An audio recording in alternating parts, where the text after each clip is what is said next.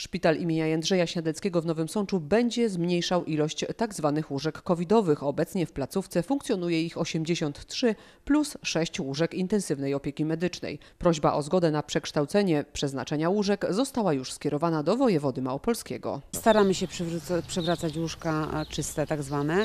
E, Do dnia wczorajszego mieliśmy 83 łóżka covidowe i plus 6 intensywnej terapii covidowych. E, W dniu wczorajszym zwróciliśmy się do wojewody o wydanie decyzji o zmniejszeniu łóżek e, o 24 łóżka e, oddziału pulmonologii, czyli chcemy przekształcić pulmonologię w oddział czysty.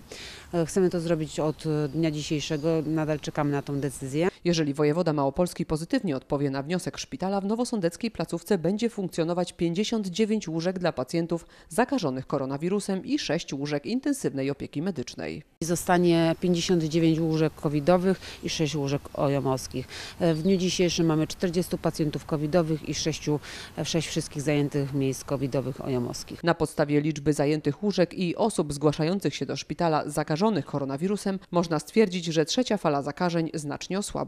Ewidentnie jest e, trend zmniejszający, chociaż e, pacjenci, którzy trafiają do szpitala są w stanie e, bardzo złym lub ciężkim. I jak dodaje rzecznik sądeckiej placówki Agnieszka Zelek-Rachtan, do szpitala trafiają też coraz młodsi pacjenci.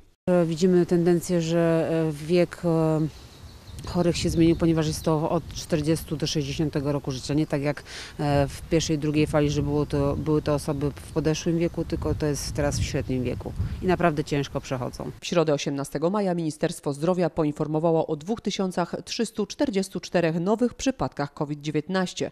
W województwie małopolskim było ich 182. Zmarło 329 osób.